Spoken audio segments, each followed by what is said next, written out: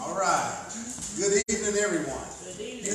We are live. Uh, thank you for everybody who's tuning in, will be tuning in, those who are present. Uh, grateful to have you all here.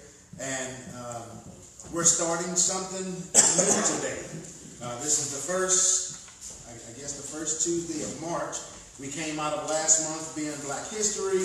Uh, we did, um, we were talking about the purpose of pain. We started out talking about why we have resolutions uh, in the beginning of the year. From resolutions, we talked about receiving wisdom. The whole purpose of having resolutions and what we're trying to do is to, to get wisdom.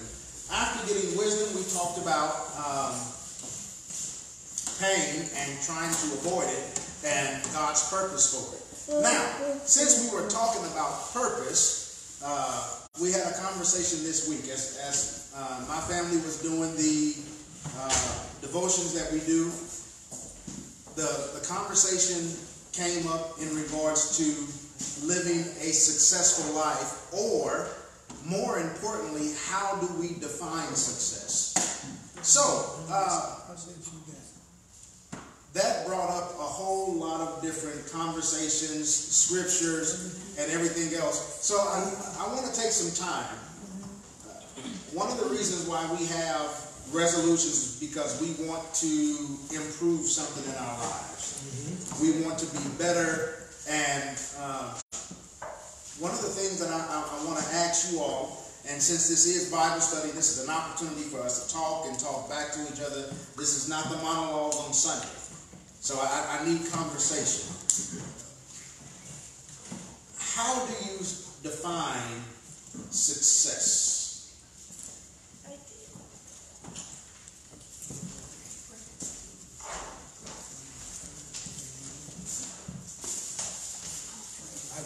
Anybody? Yeah, because it was really too quiet. Too quiet.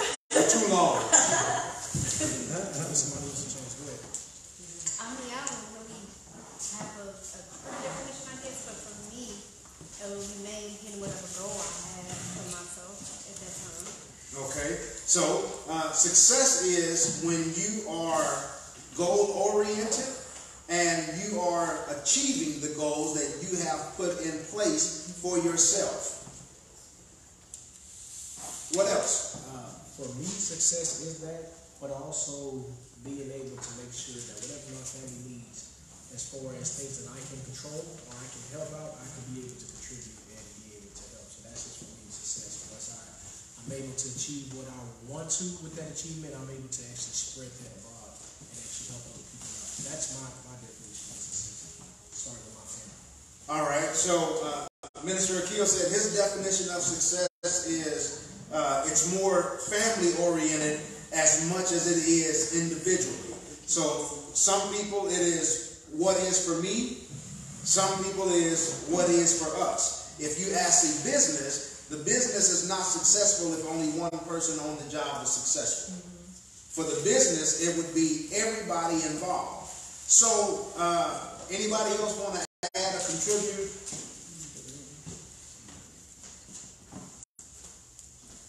Okay, so let's, if you were to turn that into a theological question, so in the church, in, in your Christian life, what is success? Having a relationship with God. Spreading God's word. Spreading God's word. Having faith in the word. Having faith in the word. Being obedient. Being obedient. Now, what about on an individual basis? On an in, so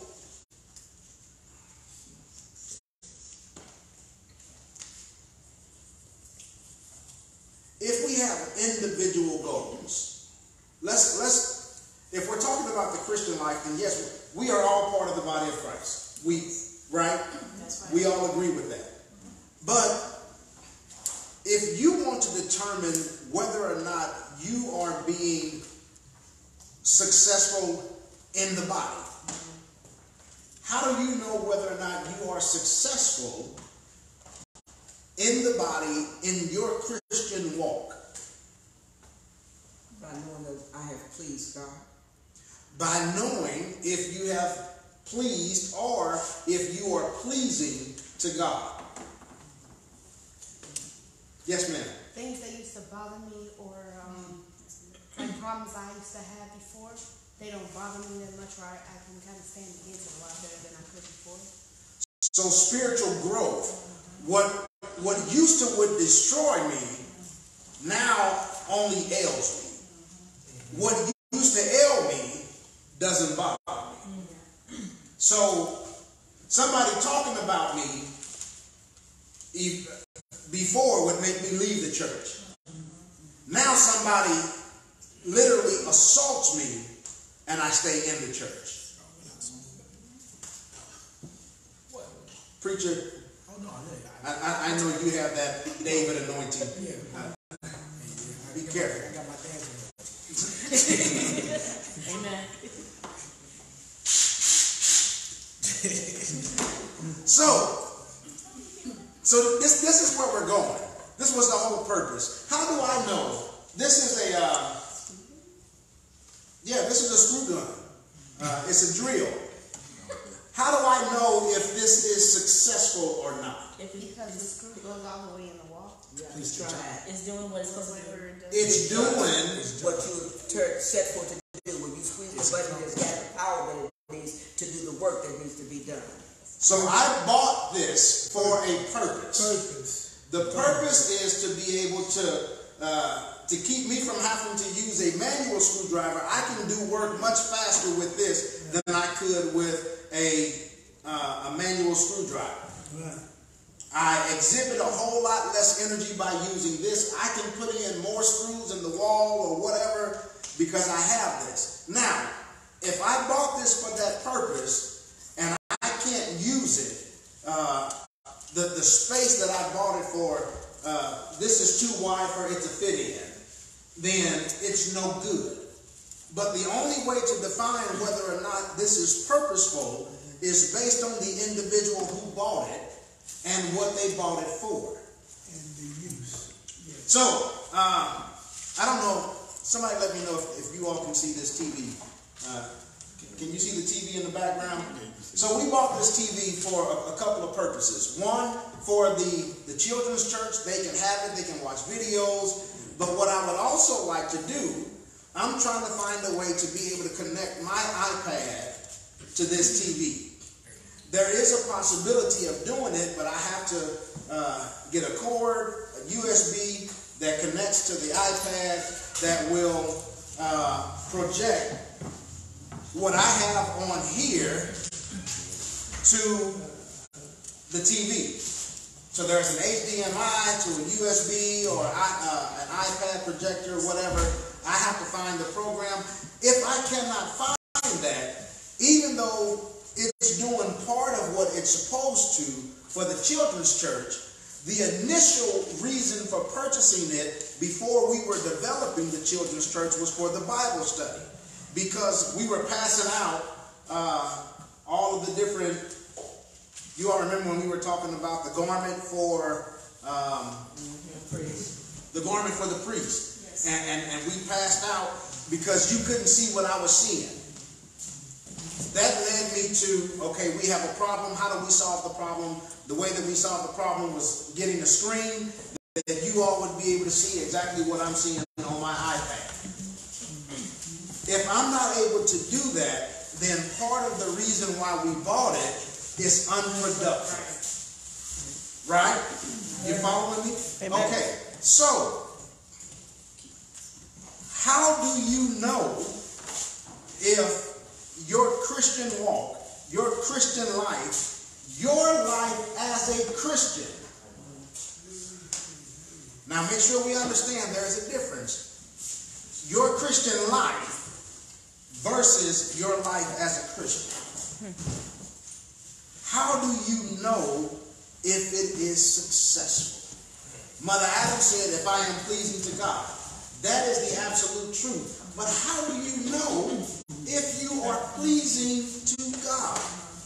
by lining up with the, what the Word of God says. If I'm reading God's Word and knowing God's Word, I know what the Word teaches me to do and how it expects me, how it teaches me to live, how I'm supposed to carry myself. So everything that I have to that I have to know to know if I'm pleasing God is my answer is right here. But I have to know what this Word says to know that I'm walking in the will of God. Absolutely, yes. But that was very in depth, but also Correct. it was it was an overall correct answer. Yes, sir. Faith. Faith, yes, and Words. yes, and here's what I'm getting to. The individual, every individual, if I'm part of the body, the only way to know if I am successful is if I am in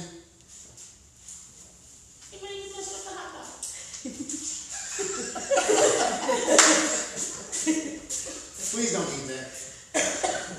Um, the only way you know if you are successful as part of the body is to ask, if you will, the head. If Jesus Christ is the head of the church, the head of the church body, we are part of his body. The only way to find out if I am successful is if I am talking or in direct communication on a constant basis with God. Because I can't say I asked God yesterday and, and I fulfilled my job yesterday. If I'm the hand and I picked up a bowl on yesterday and that's what God wanted me to do, what about today?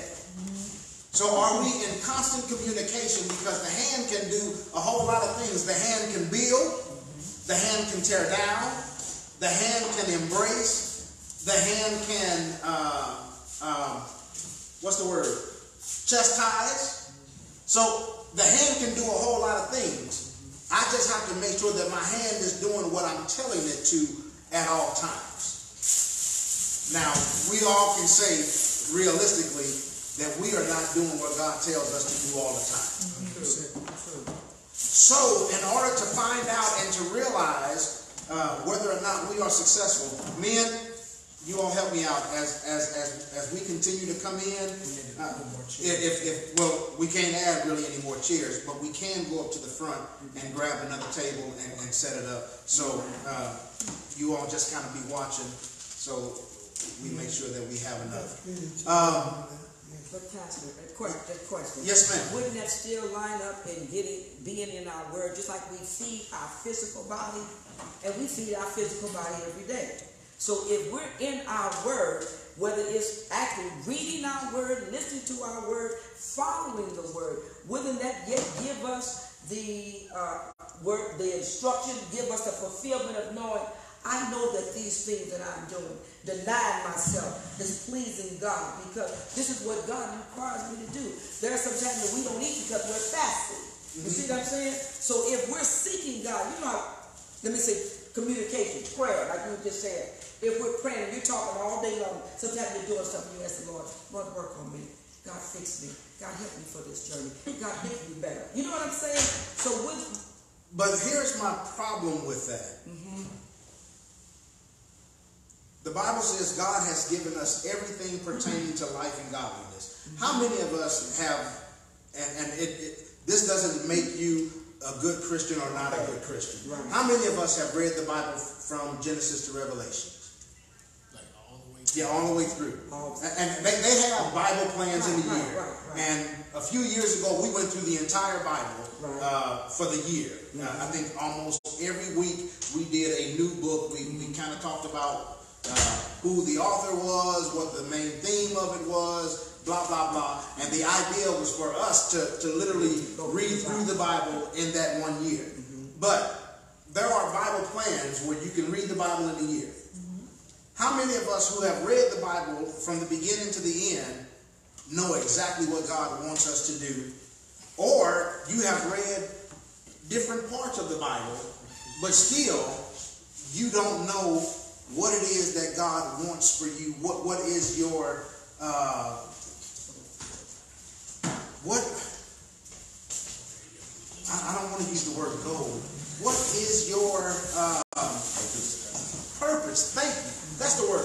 What is your purpose? You know, Bible and still don't know what their purpose is. I mean, we read Jeremiah, and, and we're going to go there. Go, go to Jeremiah chapter one. Jeremiah. Yep, Jeremiah chapter one.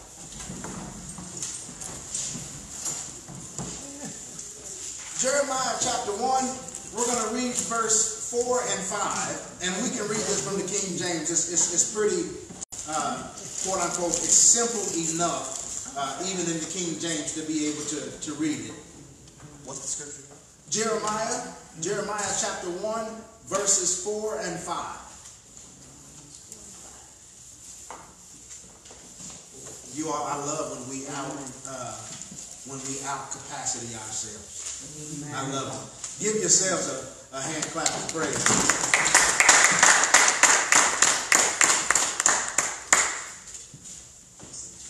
Are we there? Jeremiah chapter 1, verse 4 and 5. It starts off saying, Then the word of the Lord came saying, Before I formed thee in the belly, I knew thee. And before thou came forth out of the womb, I sanctified thee. Mm-hmm. And I ordained thee a prophet unto the nations. So, if, if Jeremiah 4 start, or 1 verse 4 starts with then, you understand that there had to be something before that. So Jeremiah is, is talking to, to God, and, and God is telling him, I want you to do something, and, and whatever else. And he tells uh, God, I'm, I'm too young.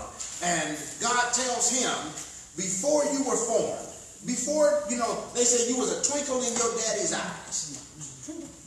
God knew who you were. God says from the foundations of the earth, when, when, when God made Adam, he knew you. How about that? Mm-hmm. So 4,000, 5,000, 6,000 years ago, when, when Adam was created, God knew every last one of us. He knew your start date. He knows your end date. Everything in between. You all understand what I'm saying? So even though you read this, even though you have read Jeremiah 1 and you know that before you were formed, God knew you, but does that still tell you how many of you all in here know which part of the body you are in Jerusalem?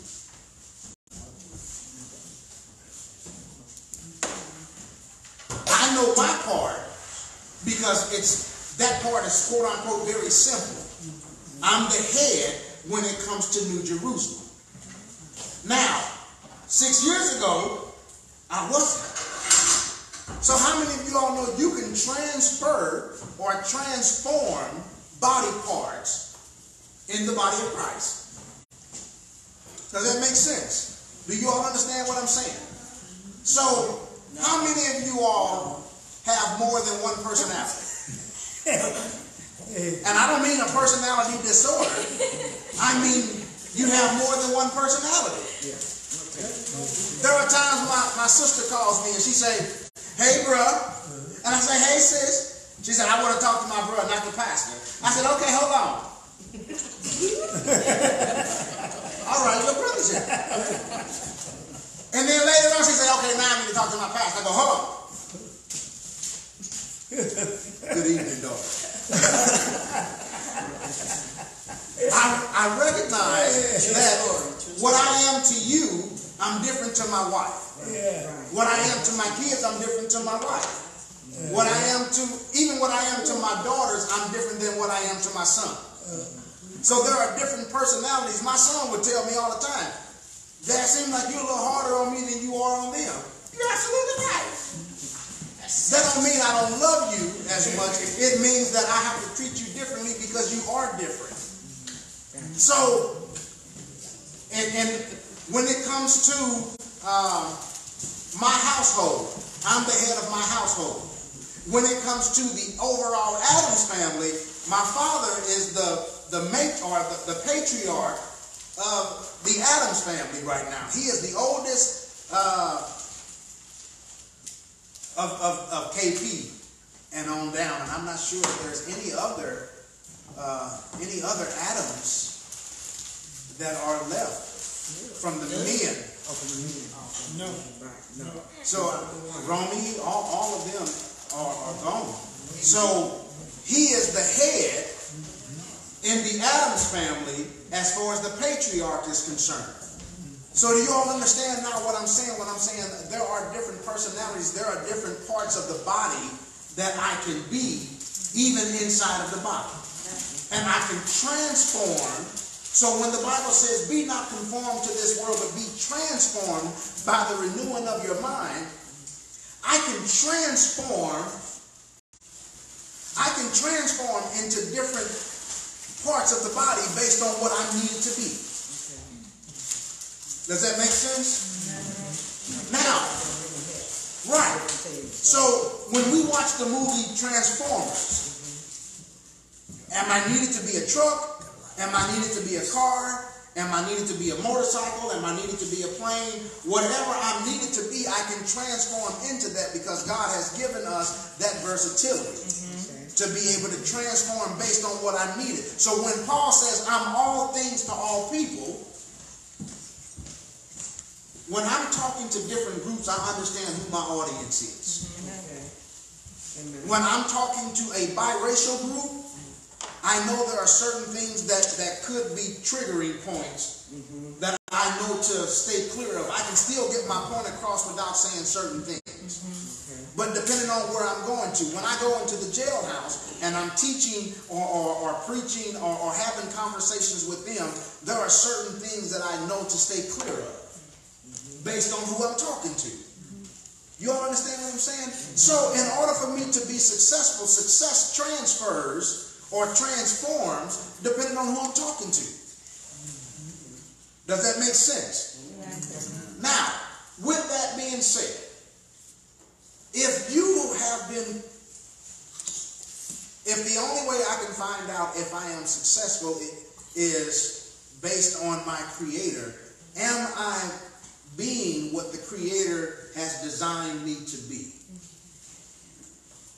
So now, when we go back to the idea of purpose, each one of us has been created and designed by God for a particular purpose. The only way to know if you are successful is to be in constant communication with God using the Word as your base. So I can't say that uh, God created me to be a gigolo. Well, God spoke directly to me. Well, no, because the word says, let every man has his wife, let every wife have her own husband. Uh, that's out of the will of God. Well, God said, you know, I'm, I'm, I, I want to be Mormon, I want to be Latter-day Saints, and I want to have multiple wives. That's what, that's what I believe God is saying to me. Well, no, God says one, one woman for every man, one man for every woman. But why is that different in other countries? Because they're out of the will of God. That ain't all.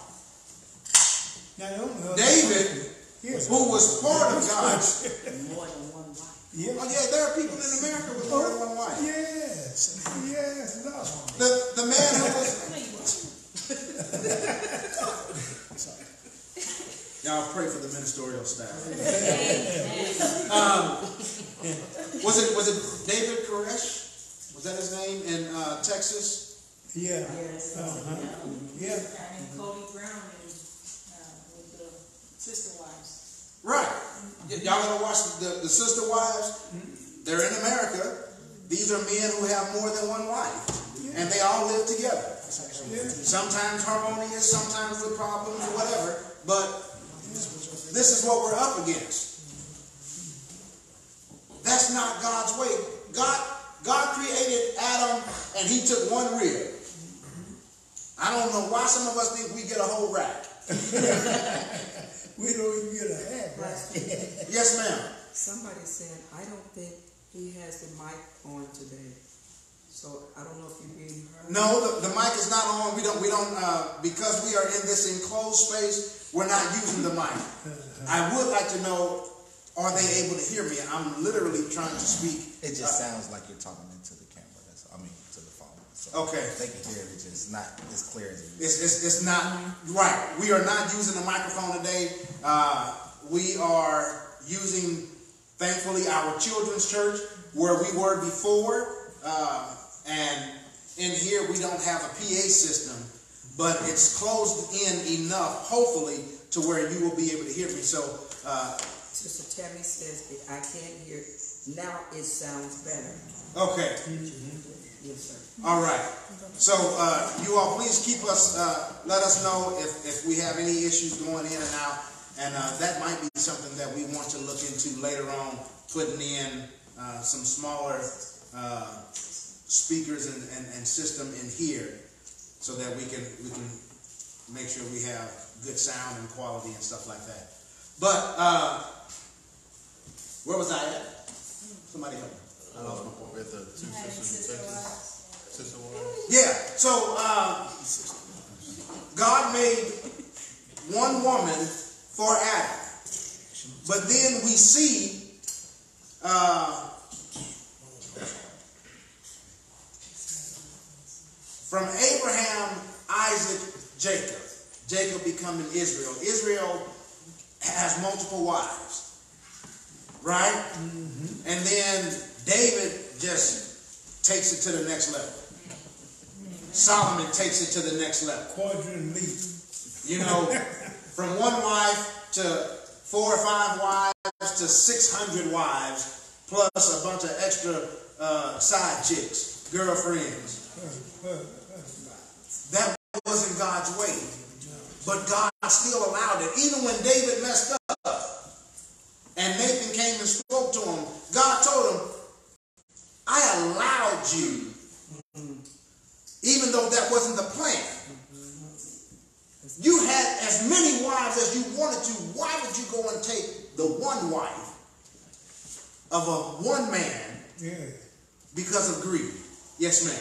So why do they make it like um like to be with one woman and a woman be with one man? Why do they make it like that's just not natural? Because men talk about that all the time. Why do they make it like it's not natural? Yeah, like Because our nature is to sin. You talk about what's natural. The Bible says we were born in sin, shaped in iniquity. Our nature is to do the opposite of what God tells us. And if God tells us one wife, we want two, three, four, and above. If God, nobody ever had to teach you to lie. True. Boy, did you eat that cookie? You have to teach them to tell the truth. Right. But you never have to teach an individual how to lie. You don't have to teach an individual how to sin. Right. It comes natural. Natural. So when we talk when we talk about natural things and what's normal, or we ask the question once in the sermon, are you willing to do the unnatural? Which is to deny self. And that's why Christianity or any most often organized religion, regardless to what that religion is, whether it's Christianity, whether it's Buddhism, uh, Islam, it, it's, it's a form of denying yourself for a higher power. So when the monks are, are, are not eating and meditating, that's not natural. For them to go three or four days in a sitting position, and I don't even know if they're allowed to go to the bathroom during those three or four days where, I mean, it's just them in a meditative state, three or four days, no eating, no drinking, no nothing. That is to deny self for the purpose of that higher power. Christianity is the religion, not a religion. There's only one way to the Father, and that is through the Son. The only one way that you can go to the, the Son is if you are drawn by the Father. Jesus says, I am the way, not a way. So we have to understand that language is important. Now, when it comes to us and our bodies and whether or not we are being successful, I want to go through uh, some of these scriptures that's going to help us go into this study, if you will. Yeah. Go to Philippians chapter 4, verse 13. I'll read it, even though most of us have already heard it. I just want I, I want us to discuss these. Chapter. Philippians chapter 4, verse 13, and it says, I can do all things through Christ, which strengthens me. Now, how many of us believe that? That is the word of God. We, we, we saw it, right? Amen. This is, we read it. We know this is not my word, your word. This is God's word. This is Jesus Christ, right? If you believe it, I want uh, somebody to get a ladder and get on top of the roof, and I want to video you, and I want you to pray to God to be able to fly, because you can do all things, all things, right? Not some things, all things. I can do all things. Hey, where y'all at? Ain't nobody amen to me right now. No, uh, no volunteers. Yeah, yeah, the reason, We go past the scripture really denies us of doing such. For it says that God cannot be tempted with evil. Well, you didn't have to go all PhD on me and stuff. We're gonna get there. Thank you, Bishop. So, when Jesus was, was, was in the wilderness and Satan says, hey, he took him up to a high place and told Jesus to jump off. Because remember, the scripture says mm-hmm. that the angels will take charge and you won't even dash your foot against the stone. Yeah. We have to understand, yes, I can do all things through Christ who strengthens me, but understand I can do all things that God has purposed for me in his will. So there are a lot of people who are quoting scriptures but don't have an understanding. amen. So whatever God has purposed you to do, some people God has purpose to play professional football, baseball, soccer, uh, uh, Hollywood. Everybody is not meant to be in the MLB or the NFL or the MLS or Hollywood or uh, entertaining. Everybody wasn't meant. So, do you have the capacity? Sure you do. Spud Webb was a little short, you know, a short according to basketball standards. No, he's actually short. He's five three. He's a short guy, That's five three. but he had unusual ups. This guy could could could go up and he was dunking like it was nobody's business. That's true. So it, your ability to be in the NBA is not necessarily, when I say necessarily, that there are little people, uh, and I've never, I've never seen a little person in the NBA. Now that might be something we want to look into. now. Uh, having a little lead. what? I'm not being funny. I, I, I'm not. All the little people in here looking at me funny. So Anyway, I can do all things. Let's let's let's get back. I can do all things, but I have to do those things that God have purpose for me to do.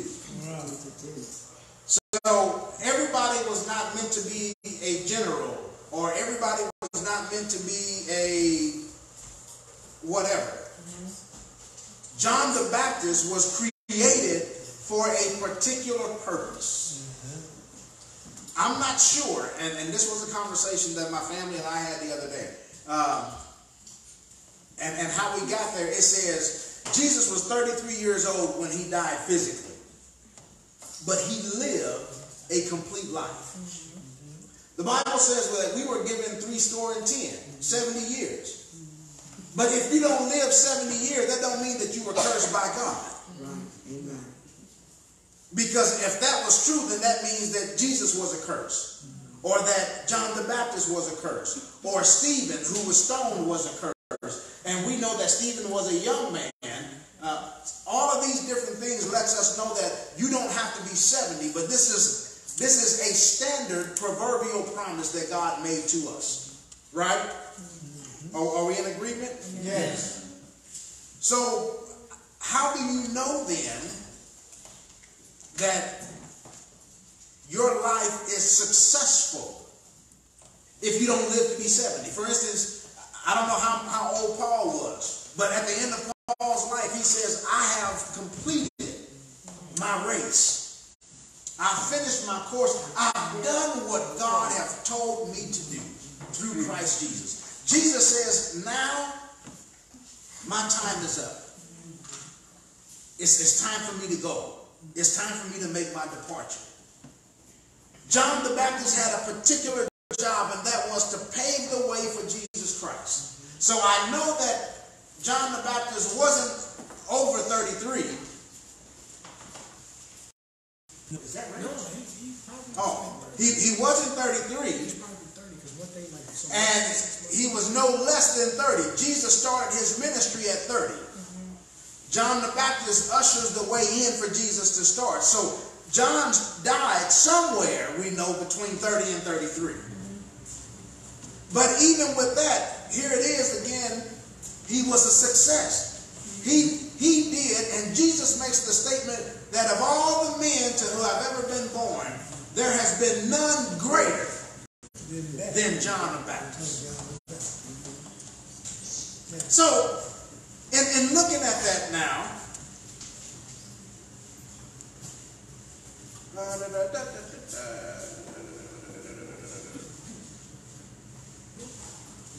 let's go to Proverbs chapter 16. Proverbs chapter 16, we're going to read verse 1 through 3, and I'm going to read that from the Amplified version.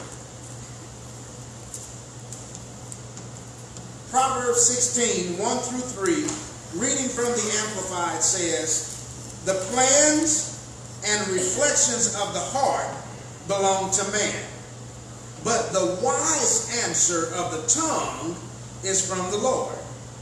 All the ways of a man are clean and innocent in his own eyes, and he may see nothing wrong with his actions, but the Lord weighs and examines the motives and intents of the heart and knows the truth. Commit your works to the Lord, submit and trust them to him, and your plans will succeed if you respond to his will and guidance.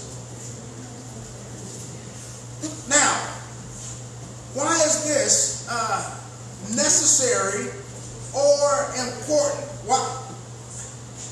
The plans and reflections of the heart belong to man. We all have plans.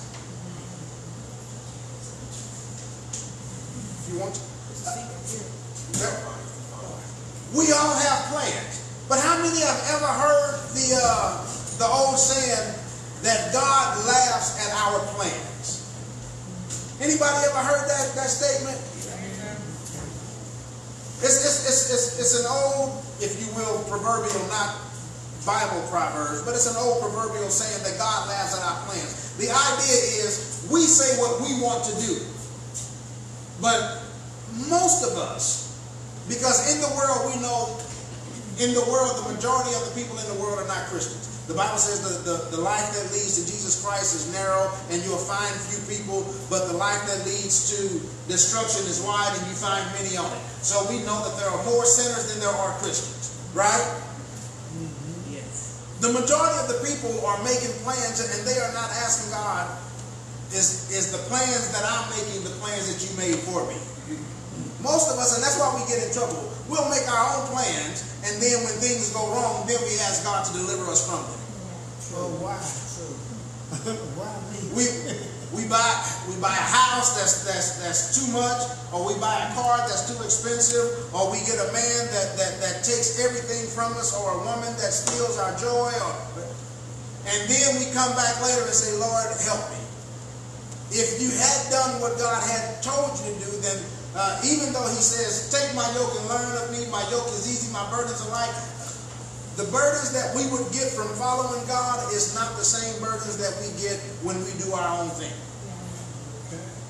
So, the plans and reflections of the heart is man, but the wise answer of the tongue is from the Lord. God answers us based on what our questions are.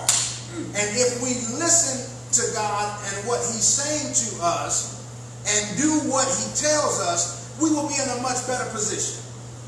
Understood? We, we, are we okay with that? Yeah. All the ways of a man are clean and innocent in his own eyes. Most of us think, well, hey, I'm not hurting nobody. How many times have somebody, especially uh, anybody ever watched those shows about the interventions and the people who are doing drugs and alcohol and all of that, and they'll say, listen, this is my life, my body, I'm not hurting nobody. But they are. In their own eyes, to them, I'm not hurting anybody. But when you are a part of a body, and a lot of times those interventions come with family, and the family will tell them, you don't understand how your destruction hurts me. You are a part of me. A mother is pleading to her daughter or pleading to her son or a, a wife is pleading to her husband or vice versa that you are hurting us. The kids need you. They need their father. They need their mother. Uh, uh, they need their brother, their sister, whatever. You are part of this family and your destructive attitude and behavior is hurting us. You all get what I'm saying? So here they're saying the ways of man are clean and innocent in his own eyes, and he may see nothing wrong with his actions, but the Lord weighs and examines the motives and intent. So God knows what your actual intentions are. No, now y'all got to be careful when y'all arguing with y'all husband, y'all wives, y'all brothers and sisters. And I know what you meant to do this. No, you don't know, because nobody knows the heart except God. And unless God gives you that insight, and, and please don't start now, well, God gave me insight. I know that He, he told me the truth. Be real careful in that uh, but uh, I want to go to go to Proverbs chapter 19, verse 21. Proverbs 19 and 21. Let me know uh, when most of us are there.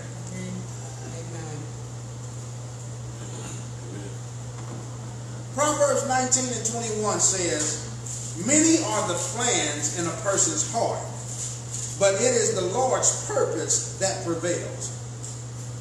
Regardless to what you plan, your plan will not succeed over God's plan.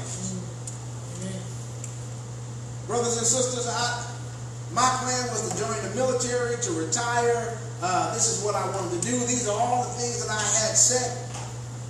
And God allowed me to do some of those. But then he said, okay, I gave you the opportunity to do some of the things that you wanted to do, but now it's time for you to do what I want to do. And I bucked against all of it. I tried my best not to. I, God, you want me to preach? How about I just play? I'll be in the band. I'll be with the choir. I, I'll, I'll come to church. I'll do. I'll support the preacher. But that wasn't what God was planning for me. And we cannot compromise with God. God is not about compromising. It's his way or no way. His way or the highway. Or his way or the low way. His way or the death way. When you decide that you are not going to do what God has called you to do, God says, if you are not purposeful, you all remember we were talking about uh, a few weeks ago, a couple weeks ago, the soil. How good is your soil? And, and we talked about the tree, and the tree uh, wasn't bearing any fruit. And God says, if it's not going to bear any fruit, then what good is the tree? Cut it down, use it for firewood. That's all it's good for. Y'all remember that? That was the analogy of the individuals, the Christians, that are not fruitful. Your job is to make fruit. When I say make fruit, you ought to duplicate yourselves in the Christian sense. God says, be fruitful and multiply. Bring in more sinners to become more Christians. Or bring in Christians to become better Christians. Produce fruit.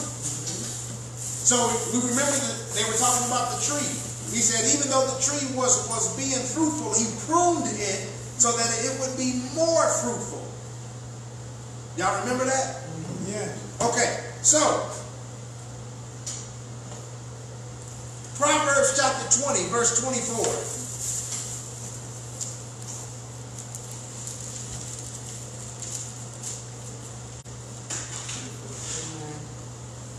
Proverbs chapter 20, verse 24 says, A man's steps are ordered by the Lord, or a person's steps are directed by the Lord. How then can anyone understand their own way? How do you think, you know, when you say, well, I'm going to figure out what I want to do in life? How can you figure out what you want to do when you didn't create yourself? Most of us are trying to find, you know, when we say, I'm trying to find my own way. But your way ain't your way. Mm-hmm. It was never your way to begin with. Remember, God created you for a purpose. And what He's waiting on you to do is have a relationship with Him where He can download your purpose to you.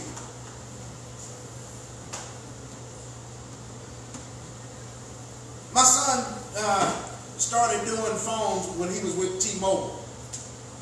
Sometimes the phones will start to act up, or, or better yet, when you first bought a phone, you take it in and they program it. They hook it up, they download all the programs. If you have an old phone, they take your old phone to your new phone, connect it, mm-hmm. transfer over all of your apps, transfer over your contact list, they download into your new phone so that it will have what you need on it to be able to work. Now, for instance, the phone right now that we are using in order to uh, do the live stream, that phone is just a blank phone. There's no programs on it. There's no service. But because it has Wi-Fi capabilities, we are able to program our own system through the Wi-Fi.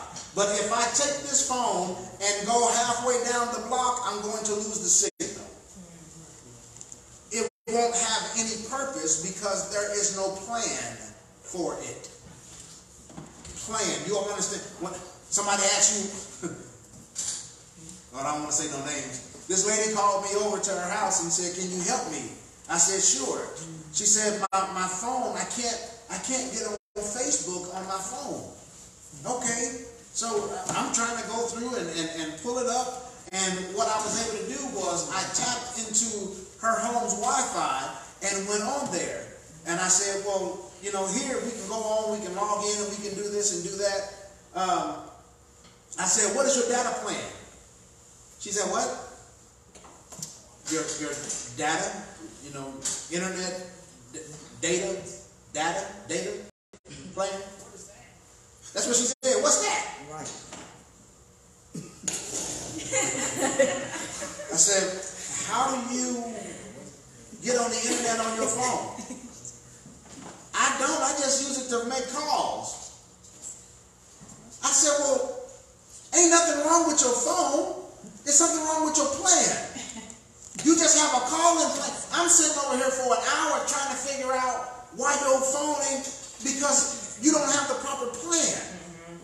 I said you can either go to T-Mobile or whatever, and and they will, uh, you know, put a new chip or what in and give you a better plan. I said most often you can just call.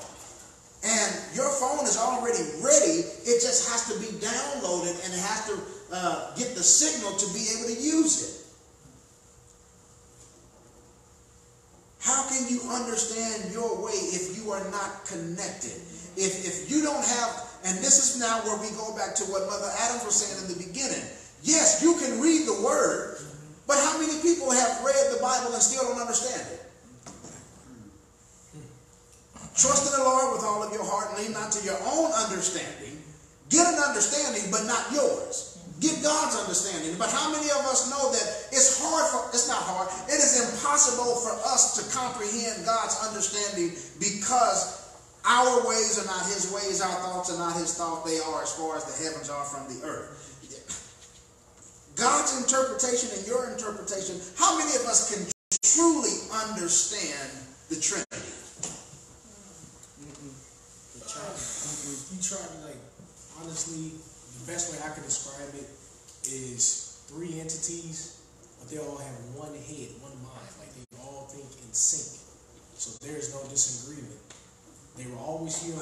I, I, I didn't ask you to explain. Oh, explain it. No, no. I, I said how many of us truly understand No, you, you really can't. You really can't. You can't. It, You can't. there is no way that we can mentally comprehend someone being who was never born. Right, who was always just here. You know, right. That you, from the beginning, before the beginning, you were there.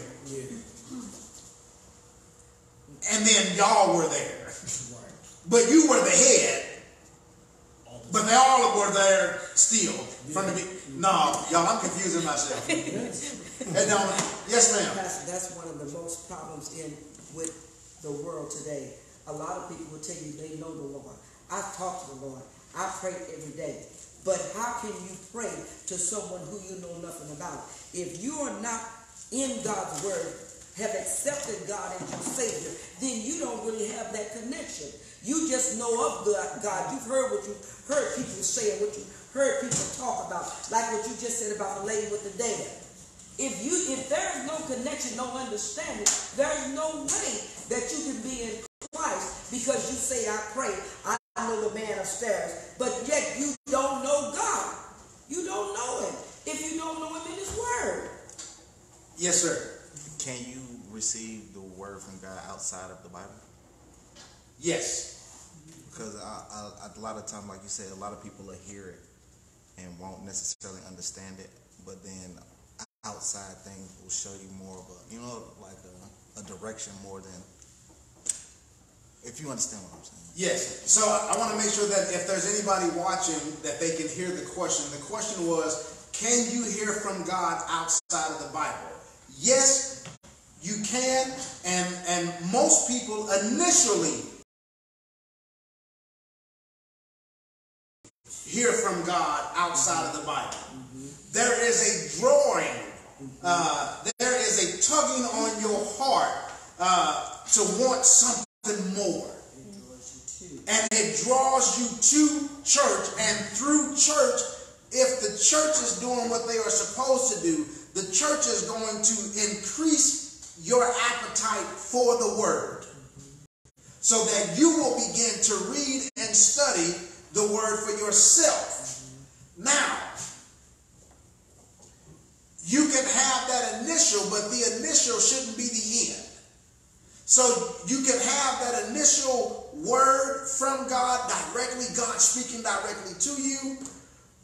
But what God is going to do in order for you to get to know him on a betterment, he's going to direct you to the word.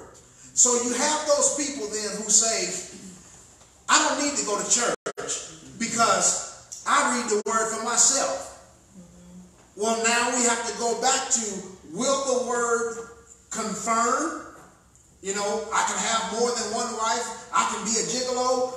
What does the word say? Can you read the word for yourself? Yes, you can. Will you understand everything that you read? No, you will not. How do I know this? Uh, go to, for, for, for the individual, now, okay, put a pin right there, very quickly.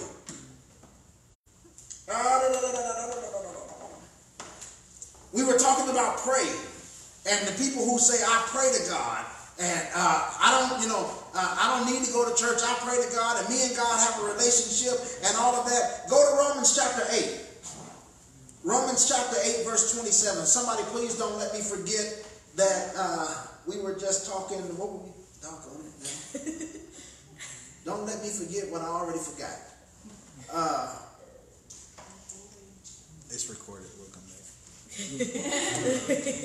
so, I'm asking right now the Holy Spirit to bring back to my remembrance what we were just talking about and where we were getting ready to go. We were, we were, we were going to go to uh, Romans. Thank you, Jesus. Thank you, Holy Spirit. We were going to go to Romans to go to how can they hear without a preacher and all of that. Okay? Uh, Romans 8 and 27. Reading from the NIV, it says, And he who searches our hearts know the mind of the Spirit, because the Spirit intercedes for God's people in accordance with the will of God. The individual who is telling you that they can pray to God and they don't have to go to church, and, and, and, and most of them are saying that have not truly accepted Christ. It's hard for you to be a Christian and be away from church. Amen. The same way it's hard for you to say you love your wife and, or your husband and stay away from them. You cannot, you, you can't go home once every three or four months after being married and knock on the door because most likely you're going to have to knock because your key ain't going to work after that long of a time.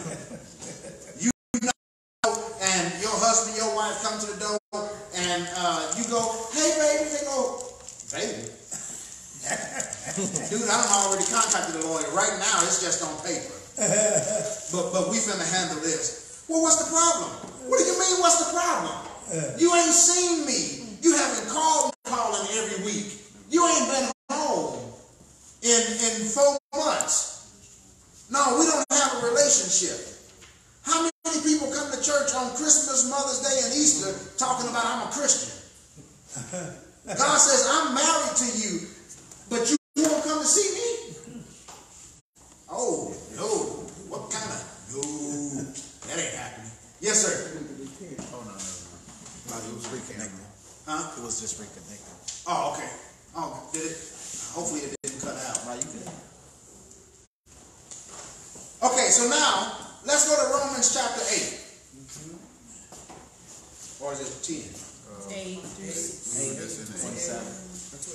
No, we, we just read we just read Romans 8 and 27.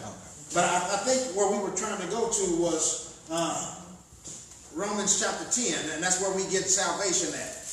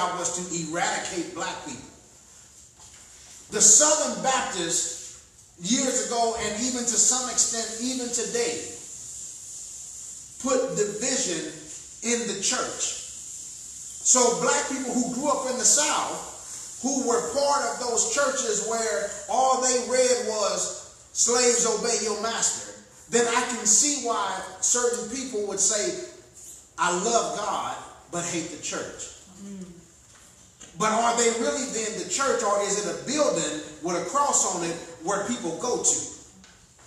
There's a difference between the building and the church.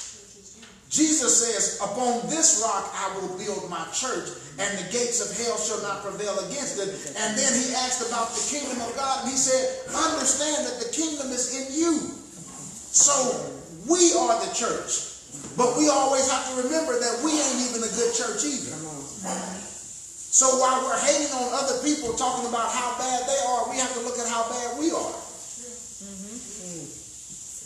So does that make sense?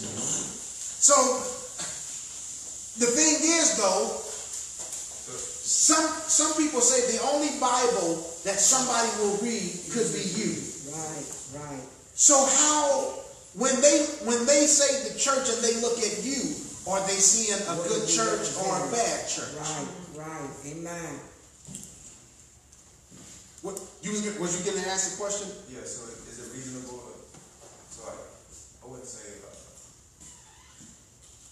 so it's acceptable for like people not to go to church again, and if the church is so, like, uh, judgmental? No, it's, it's the, the bottom line is no, it's not acceptable. Right. Um, because Schnucks, Dierbergs, uh, no, no, uh, Schnucks and Dierbergs are, are very more of the high price grocery stores that we have. Whole Foods, where everything in there is organic, is very high priced. But that don't mean I'm not gonna eat.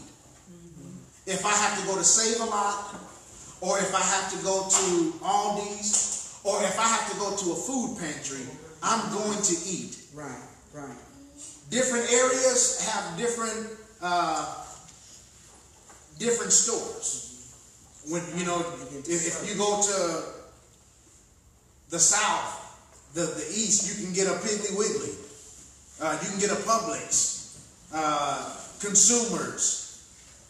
All different stores are different price wherever you go. They're gonna have the high price and the low price. They, hey, you can go to uh, um, Ruth Chris Steakhouse, or you can go to the Hawaiian Grill and still get a T-bone steak. Ruth Chris, you're gonna pay seven hundred dollars for the steak, and the Hawaiian Grill, you're gonna pay seven dollars, but it's still a steak. You can still get a baked potato uh, and, and, and whatever we're going to eat. Just because one church or a church you went to is not right or, or bad, if you will, don't say I'm not going to church because that church is bad. Find a good one.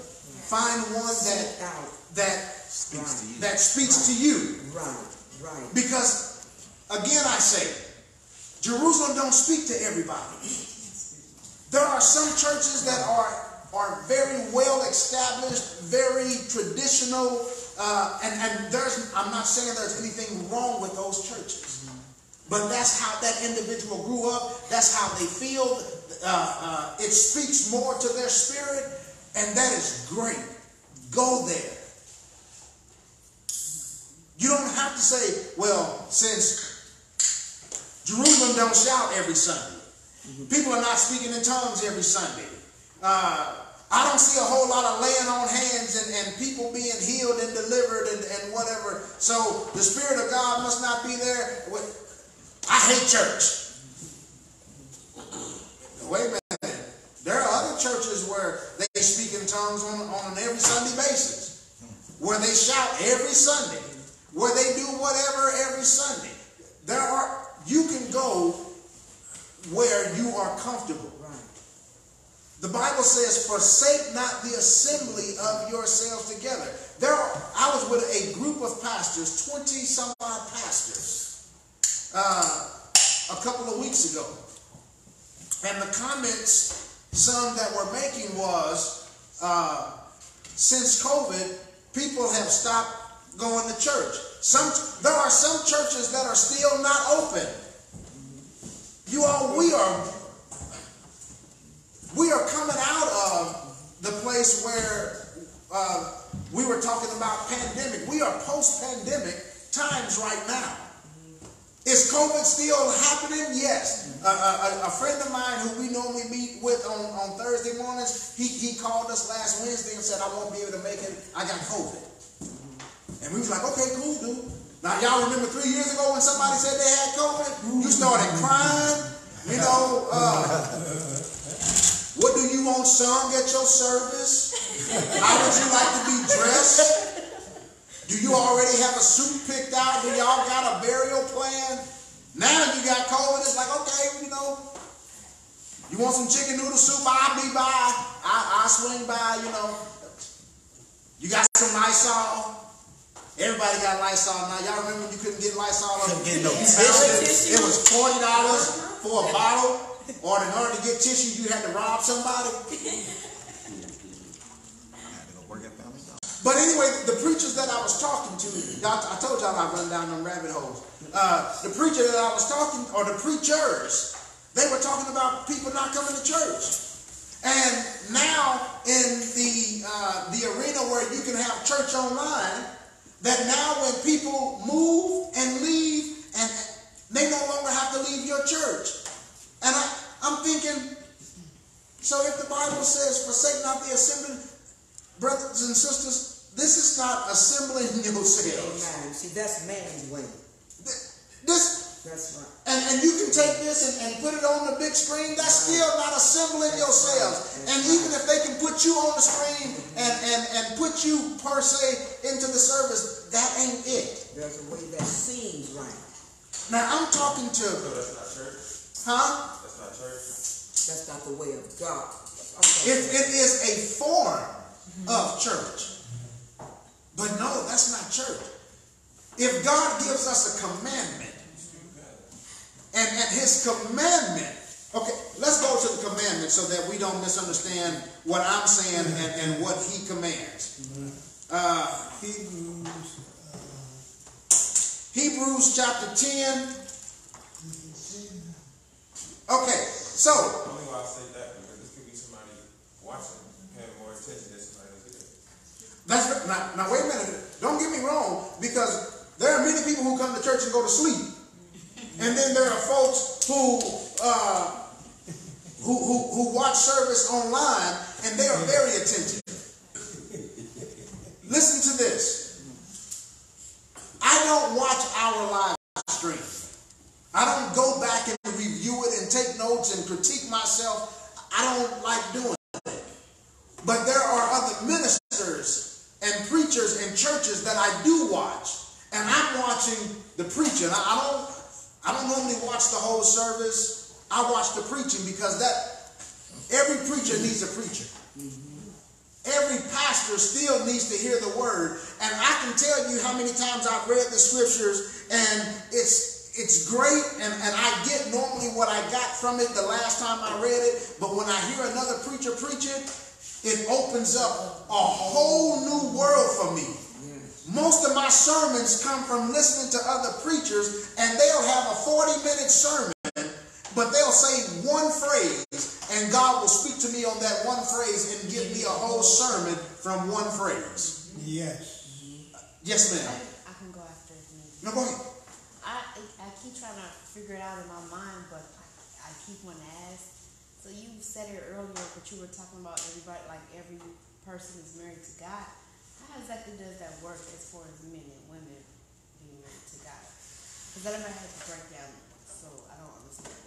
So the Bible says The that, question was, Pastor, what was her question? oh, the question was, I made the statement earlier that we are all married to God.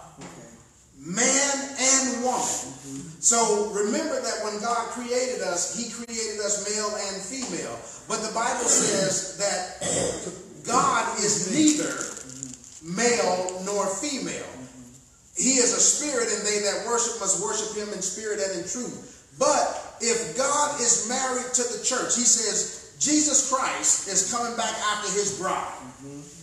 We have been reconciled to God through Jesus Christ. So, some years ago, my wife and I were having some major issues, and we were talking about getting a divorce and all of that. And I said, You're a bad wife. And I went to God and I told God, God, she's a bad wife, and I want you to get rid of her. Real talk, true story. God told me, You're a bad wife. I said, Excuse me? Who you, you talking to, bro? I'm a dude. I ain't nobody's wife. He says, now I'm preaching. I'm, I'm a preacher during this time. I have accepted my calling. I'm in the pulpit. I'm God's man. I told God, you got me all messed up. Ain't nothing funny here.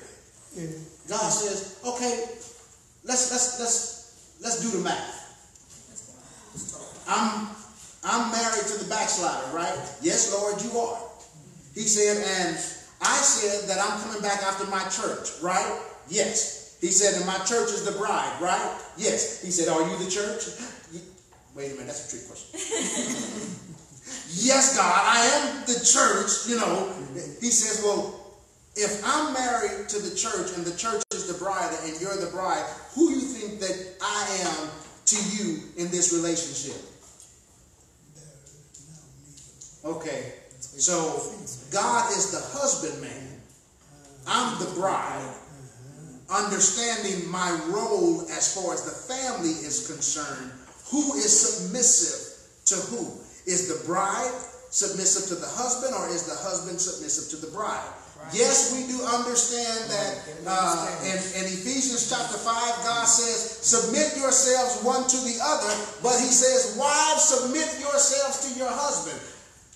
In First Peter, it says, the husband is the head of the wife. In Ephesians, it says the husband is the head of the wife, like Christ is the head of the church, and he is the Savior of the body. So we have to understand then that for God to be married to us, God as a whole is married to us individually and collectively. So God is all of our heads. You all remember when we used to, uh, when, we were taught how to give a welcome when we were growing up? Giving honor to God, who is the head of my life, to the pastors, members, and friends. Y'all remember? God is the head of all of us. So God is the husband to all of us. When the Bible talks about uh, the bridegroom was coming and there was the virgins who, who didn't have enough oil and, and there's a whole lot of other stories that we could show to correlate how God is the head and God is the husband and we, male and female, only in this sense. Please don't try to take this out of context Please don't try to make a man and, and, and, into a wife for another man. That is not what this is about. Amen. But does that does that make more sense? It makes more sense because I, I never understood. That's because I when when you first said, I was like, wait a minute, how exactly does that work? Because no one's ever explained it. They kind of just leave it there. No one really ever breaks it down. So it did make it easier to understand. You're pretty much saying that like you said, we as a church and individuals, we're married to him. He's not a man or a woman. He's just his own thing. Right. He's a spirit. So yeah. Mm-hmm. But God, the Spirit, is masculine, mm-hmm. which is why in the scripture it refers to him as he. There are a lot of people who say God is a woman. That is incorrect. Now that, that doesn't make a woman any less that does not take away from her. It just says God is masculine. Yes, ma'am. That's why, Pastor Ken, it's so important that we study, that we have Bible study, we have Sunday school. See, there are questions like these when people hear things and read things that need to be explained. That's why I used to tell people go to uh, your BTU, which is the Bible train, uh, Baptist training unit, so that you can be trained through the Word of God. And that's why it's so important, like you just said, I don't take this out of context. Whoever could be listening to what's being said here to understand that, listen, you have to accept God for what he says. That's why the minister said earlier about faith. You have to have faith in God's word. I can't sit here and explain to you, like I said, the Trinity. I can't explain to you how God is a spirit. What I can tell you is what God says, and that's what I believe. Now, after me studying, God gives me revelation, but still everything cannot be explained. Again, this is why it is so important that we have these classes, which is Bible study and Sunday school. Those are important for us because that's our learning opportunity. to ask those questions. When you're up in the pulpit and something comes across, we can't ask it. That's why it's good to have our Bible, our pen, and our paper to take notes. That later on, when we have these sessions now, we can bring up, just like the young lady brought up. Listen, right now, uh, it, it, it, it is the time and the opportunity for us uh, to express in giving. If you're watching and you want to give, you can give using the Zelle app for those who are, using Zelle, and that is uh, the phone number 314 368 7378. If you want to give via the Cash App, it is dollar sign New Jerusalem 1977. And then there are those who are still using the regular mail, can submit your offering through the mail at number one North Dade, Ferguson, Missouri 63135. Is there a question? Is, is- is there a question somewhere? Okay, yes, ma'am. Yes, so I wanted to, um, go off of what Brother LaShawn was saying, because a lot of people, uh, you know, need to know. For simple fact that I was one of those people who felt that, it was unnecessary to go to church. You know, you have all these other churches on the TV, online, and, uh, it wasn't until when I was hospitalized and near death that, um, it, it, I wanna say the Holy Spirit opened up my understanding with that. And this is what I share with a lot of people when they ask the question, you know, is it necessary to go to church? Uh, or can we get church online and watch and still have the same effect? No, you cannot have the same effect. When I came to church, and this is how the Holy Spirit showed me, when I came to church depressed, uh, because of the symptoms of the, the, the situation that I- I'm constantly facing, it was something about being in the sanctuary and having other people who were encouraging me, uplifting me, hugging me in, in the presence that made me feel a whole lot better than what I could actually feel sitting in the hospital bed watching it on, you know, YouTube, online or whatever. Uh, Can you watch it? Absolutely. I, I, I I would a lot of times encourage myself by watching online when we're not in church on Sunday, when we're not in church on Tuesday. So for the rest of the days, I'll just increase my faith with what I'm hearing. But it's still for me important to be amongst other believers. Okay, I- two things, and, and we- we only have five minutes left, so I'm gonna try to do this very quickly. Anybody heard about Beyonce coming to St. Louis? Uh, Yep, had to buy my wife a ticket. Those tickets I was told was like, some of them, a thousand dollars, Yep. two thousand dollars? That's Uh, two, three hundred dollars. Why? Why would anybody spend a thousand dollars or two thousand dollars on a ticket? Because if I'm not mistaken, uh, uh, where, where, where- where's, where's the remote control? Right there on the, uh, Somebody get the remote control, turn the TV on, I go to see. YouTube and see if we can pull up a, uh, I suggested that. a, I a, a Beyonce, look up, look up Beyonce, uh, um, concert. Is that the ass she's worth a thousand?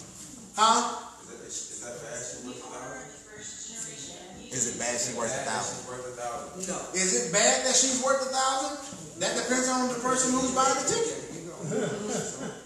Some people, I have a, a Suburban. The Suburban, the Tahoe, the Yukon, the Cadillac, same truck, different names. Why would you buy a Cadillac if you could buy a Tahoe?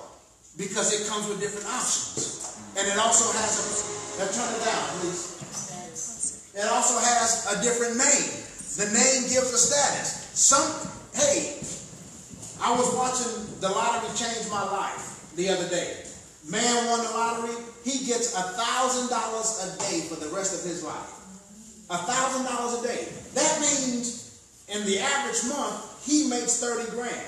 if he wants to, to go and see a, a, a concert, it just cost him two days of his life. But there are some people who make a thousand dollars or, or two thousand dollars a month. They just had to spend 30 days of their life to go to a Beyonce concert. If they have that kind of money, and that's what they want to do, and it doesn't hurt them financially, that's on them. But tell somebody else foolish. Brothers and sisters, for some of us to go out to eat and spend twenty dollars, it's ridiculous. It don't make sense because it's, it's twenty bucks that we don't have. But some of us look at twenty dollars like some people look at two thousand. But I can watch. I can watch the full show. The, the, the, the full Beyonce I Am Yours, which is an hour and 38 minutes and 25 seconds, and I don't have to spend nothing. Huh? No, it's not stealing. It's, it's, it's on here.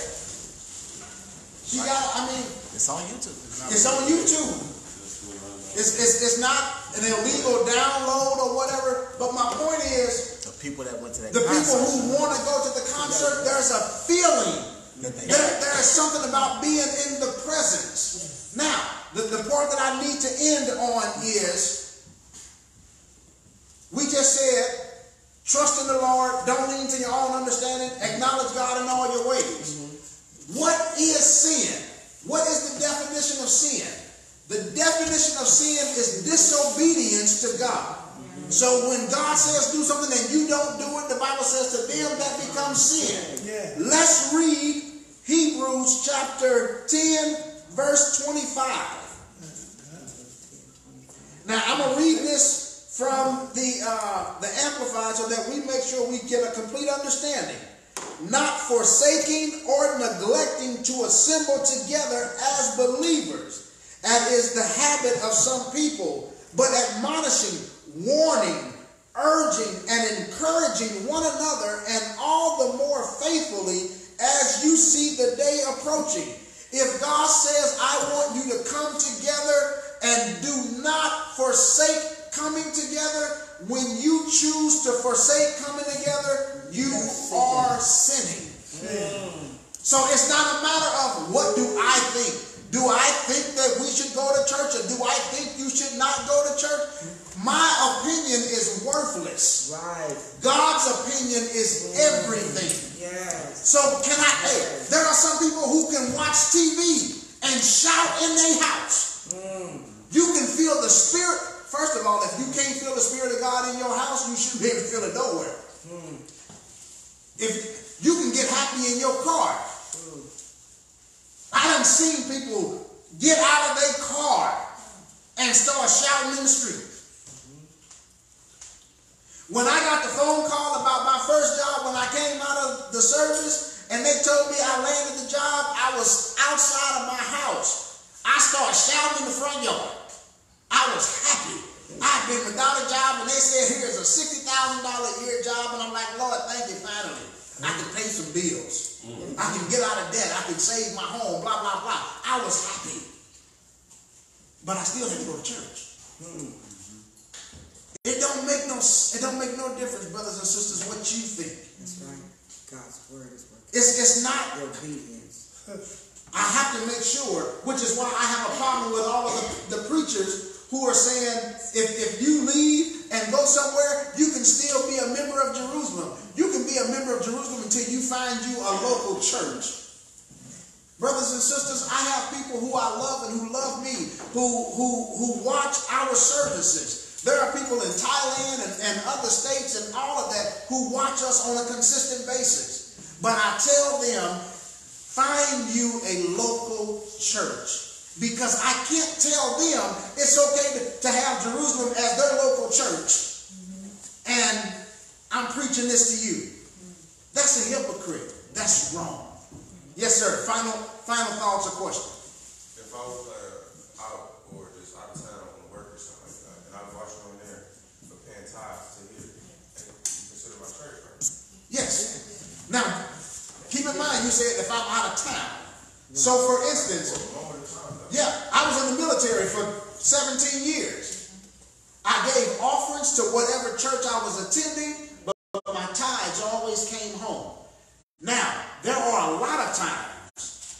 wife is right here to testify. There were times that my offering was more than my tithes. So when I was somewhere, I was giving to the church and supporting the preacher.